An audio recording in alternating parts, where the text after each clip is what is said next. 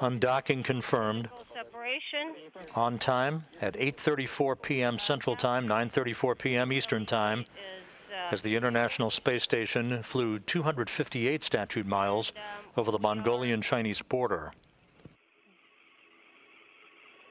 moving away in our small vehicle. Rubins, Ryzhikov, and Kud-Sverchkov on their way home for a landing less than three and a half hours from now. Uh, the range is- about 10 meters.